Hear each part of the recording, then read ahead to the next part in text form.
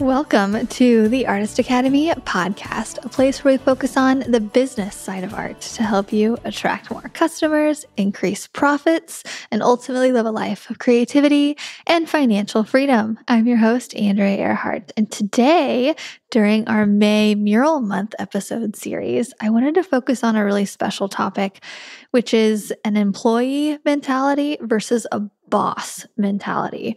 And I recorded something very similar to this about two or three years ago. And it was definitely a favorite episode amongst listeners. And I know that because they would message me and say things like, Oh, I never thought of it this way. Or they, people would just talk to me about that episode. And that's how I know that it really caught someone's attention and helped them and just bringing to light a different kind of point of view. And this is something that we doesn't really get talked about a lot. You know, we talk about pricing and what supplies to use, but the mentality that you have to have to own your own business, it's a trip. it's it takes some getting used to. And so I'm just going to talk about my journey and what I've had experience with and what I can kind of look back on now, things that I would tweak and just basically how I've transformed my brain from being employee brain to now being my own boss because it's two very, very, very different things. And it's funny because I think our schooling system treats us like an employee, you know, like public mm-hmm. school, which is what, what I did. You know, you have to ask to use the bathroom, you have to, you're mm-hmm. assigned certain things. We're basically told what to do until we graduate high school right? And then we go to college, mm-hmm. some of us, whatever. Say you go to college, and then again, you're still very much told what to do. Turn in this assignment, then it needs to be this many words. Like there's mm. so many rules in our schooling system. So no wonder we get out of it and we're like, tell me what to do. Tell me what job to go apply for. And then they tell us what to do within that job. And that's how we just live our life. And a lot of people like the safety of that but I saw some opportunity to not only not be told what to do for the rest of my life, which I don't like to be told what to do at all, not just from my husband, but but from anybody. And I wanted to just create my own rules. And with that, it's not just a, oh, I don't like to be told what to do. I'm going to go be my own boss thing. It really is finding out first off a purpose more than I don't want to be told what to do. Like, why do I want to do what I want to do? Is it the freedom? Is it having control over how much I make, which is a big one? Is it, you know, there's all these things, but what comes with it is having to figure everything out what I thought was just on my own, you know, having to be resourceful, having to just, there's so many problems that arise with owning your own business. And it's so difficult sometimes to figure everything out from scratch. And I think I've kind of gotten used to it by now, but there are some weeks where I'm like, don't ask me questions. I don't know. Like, where do you want to go eat? I don't care. I don't I don't want to make any more decisions. I don't know. And so anyway, let's let's just talk about it. I was doing a little bit of research on what Google thought of this subject so that it wasn't just you know, coming from my point of view. And I read a bunch of different articles to get a different variety of opinions. And I came across this one that said a boss is focused on results and an employee is focused on the process. And immediately thought, well, we have to do both. I am my own boss, but we're also our own employees as well. So that's a fun trip to add to this whole thing too that I I didn't put in the last episode, I don't think. But we have to be both. And so switching from okay, I want this results, which is a boss mentality. How do I get there? So, say I want to make $30,000 in my art career this year. That is the result that I want. And I want to get better at painting and the things. It's like you got to break it down then into employee mentality of how would you ask an employee to get there? Well, maybe you'd ask somebody to start pitching for you. Maybe you would do this, this, and that. But so we have to be both. And an employee is mm-hmm. thinking, what do I need to do today? and a boss is thinking, how can I achieve how whatever this year? So a boss is more thinking of the long term and the employee is thinking of the day to day.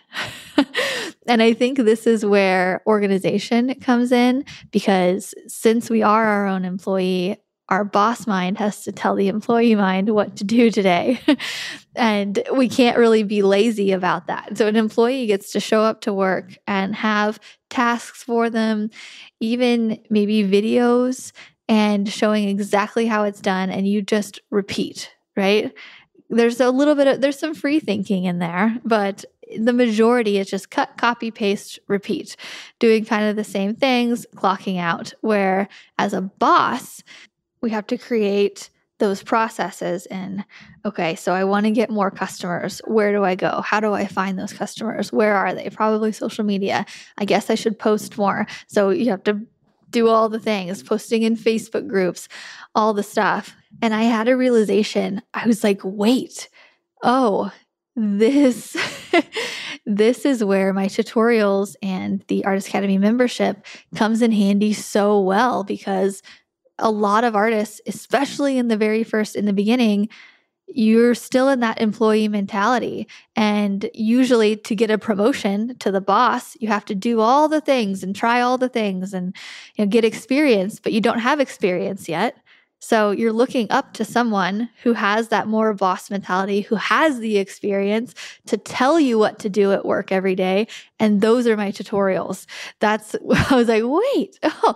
So I'm helping people get to that boss mentality of saying, hey, this is how I did it. Exact wording I did on this post. This is the exact price that I did. This, these are the exact supplies that I used go and try it on your own.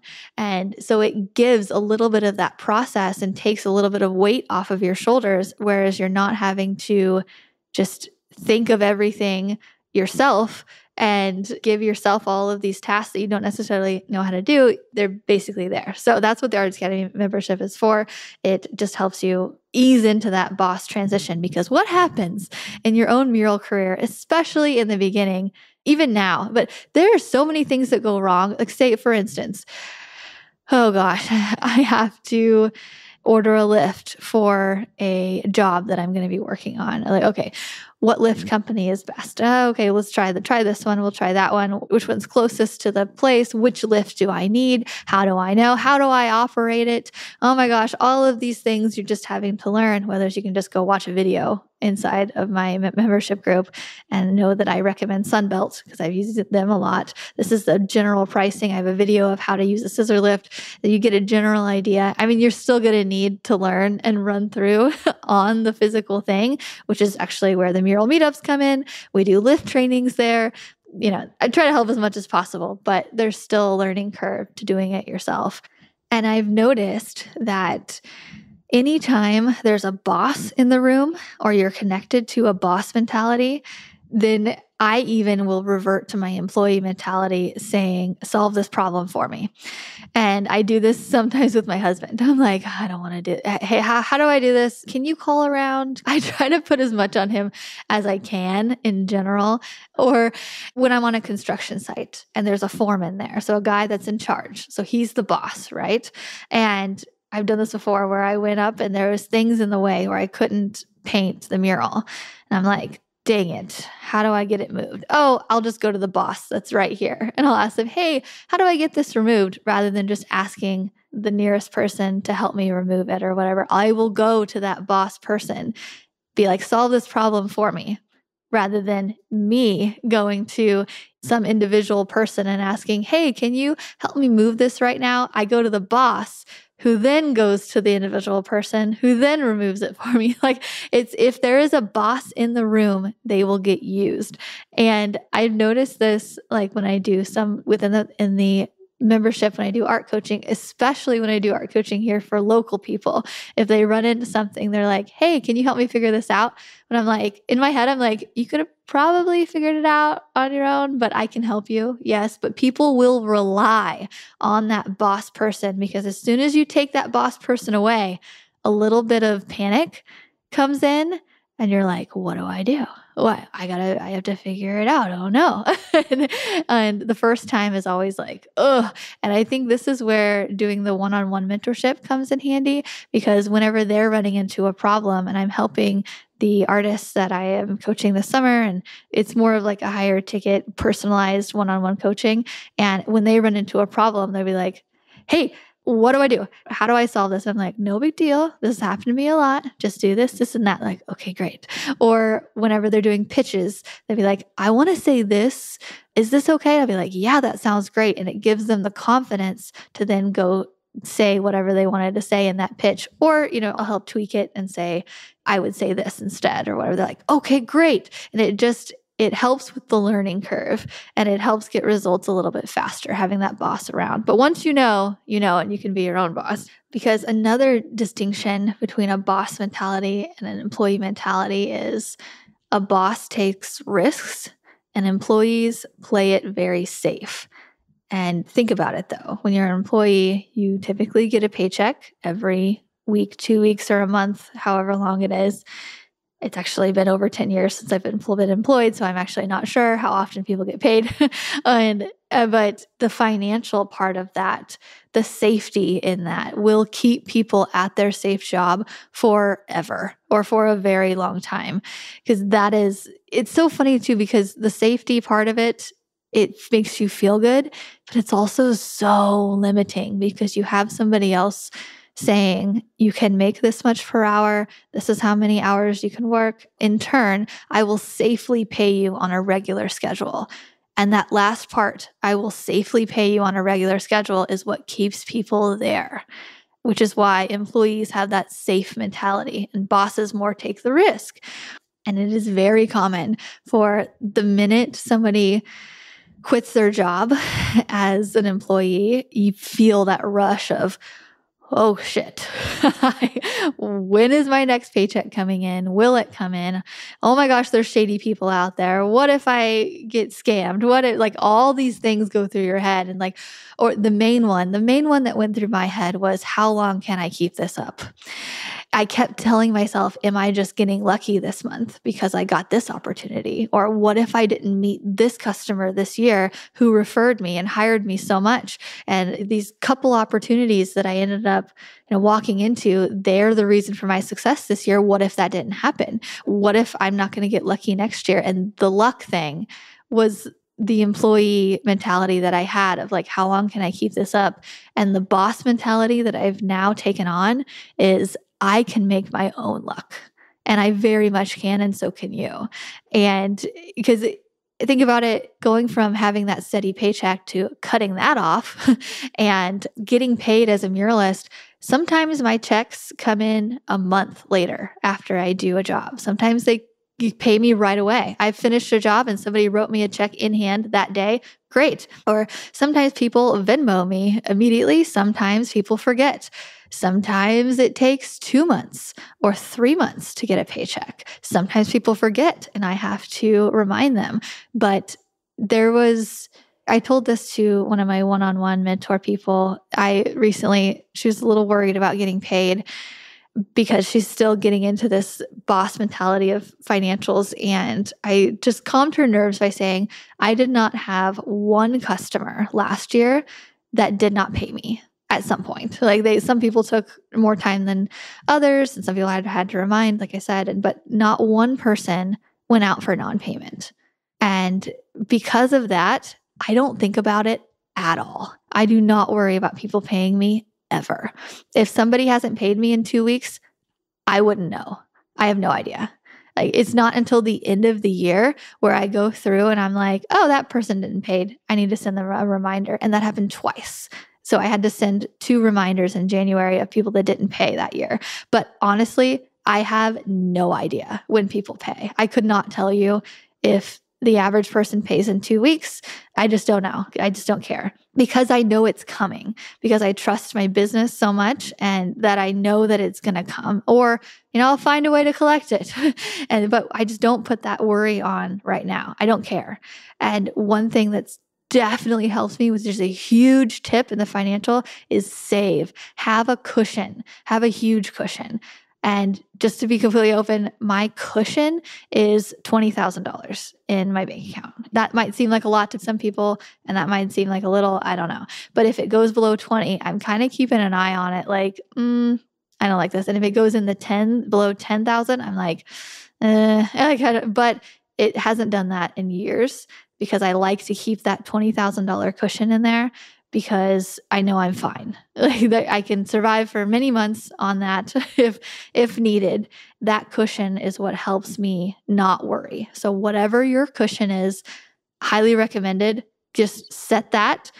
Don't spend below it and you won't worry about it. And it'll come in without you having to nag your customers and remind, like, send them a reminder after two weeks when some businesses pay once a month. And sometimes it has to go down the ladder. So the person that I'm working with at, you know, so and so company is the in charge of some section and they have to send it to the finance section and then they have to wait till payroll goes out and then they have to get paid by this person. Like sometimes we're on the bottom of the food chain when it comes to getting paid and it takes a while, but give yourself that cushion so that you can have that boss mentality to not worry. And another part, while we're on the whole not worrying thing, things go wrong all the time. The ability for you to just roll with it is a boss mentality. And it doesn't come just by saying, I'm going to roll with it. like it just comes with experience and running against every single problem to know, or just having a really bad job where you, so everything goes wrong. And it just like, okay, well, in comparison, every job that I have from now on wasn't like that job. So it's not too bad. And that's that's what I do to keep a positive outlook all the time. I've had the worst jobs, the worst clients, the worst crazy things happen in life. I'm like, well, it's not as bad as that. I used to do that whenever I dated back in my 20s and I had a really bad breakup and I'm like any guy I broke up with after that like well it wasn't as bad as that one. So that that's you know it's not too bad now. It's kind of like that. You, you have a really bad apple and then all the other ones just seem like a piece of cake. So your ability to just roll with it. A boss is looks at the weather that day and they're like, "Oh my gosh, it's going to rain for 3 days, but I only have four days to do this project. What am I going to do? Don't worry about it. Reschedule. Schedule in buffer days because if you've been doing it a while and you haven't scheduled in buffer days, do that because that helps. That just roll with it because a boss knows, oh, I can't do this project right now because it's raining, but there's a project I have scheduled in two weeks from now that I can bump up and I'll just flip flop and I'll do that canvas project now and this outside mural project later easy you know? Yeah i'm not i'm solving my own problem based on the experiences that i've had and just based on communication with my customers. An employee finds a problem and is like what do i do? Asking other people how do i solve this? A boss gets a problem and looks inward and says okay how do i solve this quickly right now and so that way i can keep working?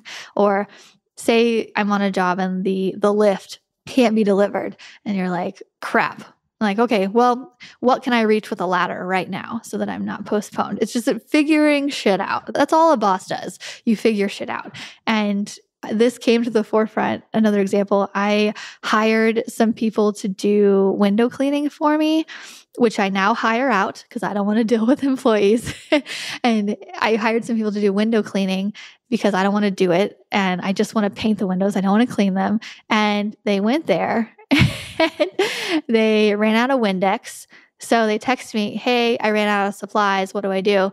And my boss mentality is like, go buy more supplies. Like, what do you want from me? it's like, do you want me to come deliver supplies to you? No, go buy some more Windex. like, and like, um, it's just so funny because that's that's what they had though. That's who I employed was an employee, and they're like, how do I figure this out? Which I have now learned to I like to employ boss mentality people.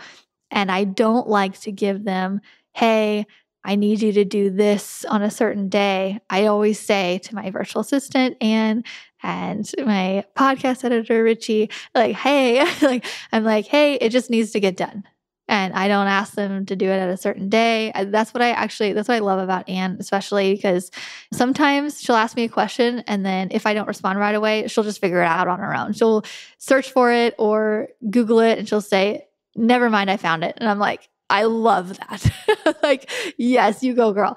And just little things like that. But I've had people work for me in the past where they rely on me for everything which is okay in the beginning, right? Because there's a certain way I like things done and that there's a learning curve there.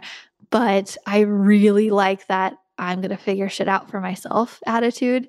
And that's what I have now. And so that's what I know. And going forward, if I hire more people, I want that hey, I can figure shit out too mentality because it's just, it's less on my shoulders. And the final distinction is being organized as a boss, I think, is one of the hardest things because there's so much stuff to do.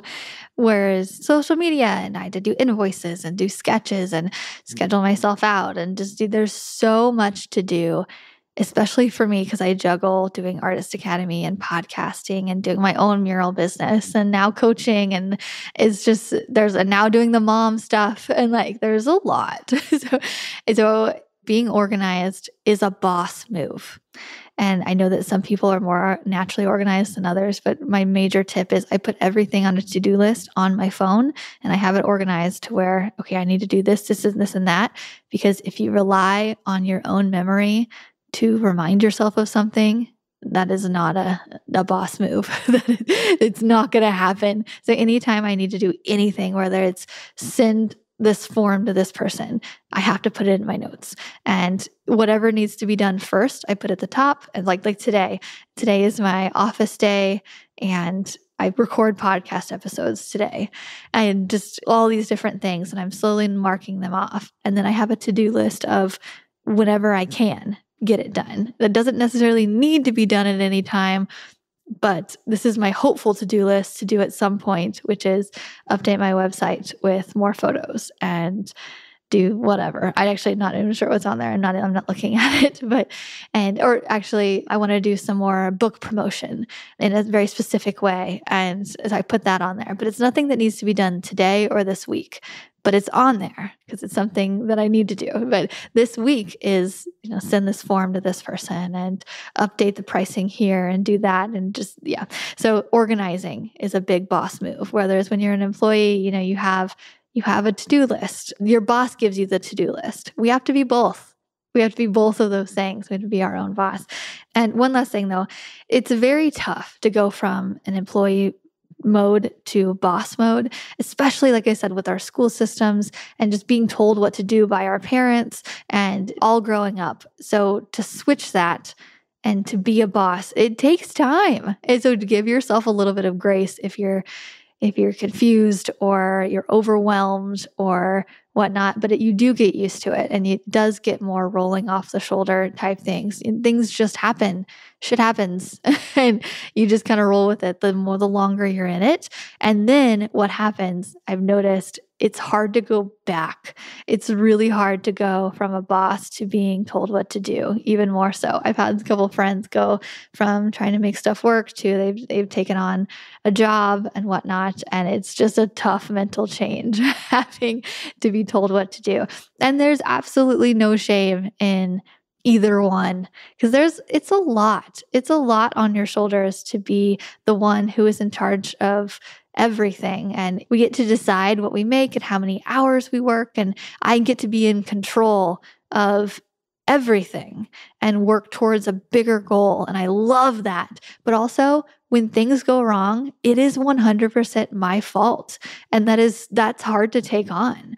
It's hard to take, like when, when I went to court last year, it was because I did not specifically go over the budget with my customer and make sure everything was in line beforehand. And I mean, he, he ended up paying because he was a jackass. But it, go go back to that episode if you want some drama in your life. I went to court last year and I recorded the whole process, and it was a whole thing, and it was a big lesson learned. And it was hard for me to be like, gosh, because I am my own boss. That was partially my fault that happened. And now I know how to go about it next time. and like I said, have everything written down. So everything that goes wrong is also our fault. And so owning up to those mistakes is a boss mentality. Whether it's, you know, if you make a mistake as an employee, yes, you have to own up to it, but it's not necessarily, you know, it can be corrected or the boss can come in and help you fix it or, you know, whatnot. We have to fix our own mistakes. And yeah, that's just part of it, I guess. Okay, that's that's what I wanted to end on. But it is May Mural Month, and this month is wholly focused on doing just helping artists become muralists because that is where the money's at right now. That is the big ticket. There's a big fad and a wave going on with murals. Everybody wants it. Everybody is paying good money for it. And part of that, part of becoming, becoming a muralist is being your own boss. And that's why I wanted to share that today of all the yeah, just a little bit of insight. But we have the Mural Master program inside of the Artist Academy membership. Right now, it is only $37 a month very affordable. We've had people go in and now they're on to making six figures. And because they took on that boss role of watching the videos, implementing, implementing, implementing, doing the sales stuff, doing the marketing, posting in the stuff, all the things. I basically have it all lined out for you telling you exactly what to do if you want to be lazy and just have everything completely lined out for you. That's what I do inside the Mural Master. I literally say, go paint a mural here. This is the supplies I use. This is the technique that I use to paint that mural. All the things like we line it out step by step by step so that it takes the headache and the guessing out of it because we all know that being our own boss is a headache some days and I want to take a little bit of the headache out from it. And so that's what the whole Mural Master is step by step on how to create your own mural business from the ground up. And you can post in the arts Academy membership. It is a in our Facebook group. It is a safe place to ask questions. I know that some other Facebook groups you post in there and it's like they bite your head off because you ask quote stupid question. There are no stupid questions. And there are people in there who have been in the same position as you, who have gone through the membership already, that are making six figures, and they're in there just to help. And so, if you need, there's some day where you're like, I don't want to be the boss today. Somebody help me figure this out. Somebody help me figure out how to make this sketch better, or this mock up, or price this better, or whatnot we're there to help you. And that's why the Artist Academy membership is there because I know how hard it is in the beginning to do it, especially on your own.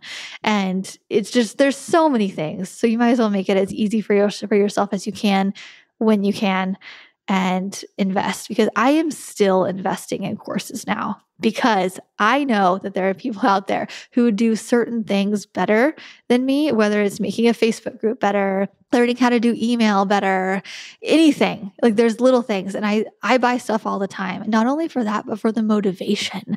I bought this course packet. It was like a millionaire maker course packet. It was all the things to sell courses better and it was like stuff about the checkout page and just little things and listening to this chick talk i was so motivated. I love hearing exactly what other people do and why. They put reviews in certain places and then they did an upsell here and i'm like oh my gosh that is so genius. Like why did i never think of that? And it's just little things that you wouldn't even think to ask the question about she answered it for me for a very low cost. I think I paid $27 for this little bundle and I watched mini courses and I I really I plugged in and I listened to her stuff. I don't ever actually sit down and watch things. I listen while I paint and it made me think I was like, wow, I'm so glad this lady made that course. And I was like, you know what?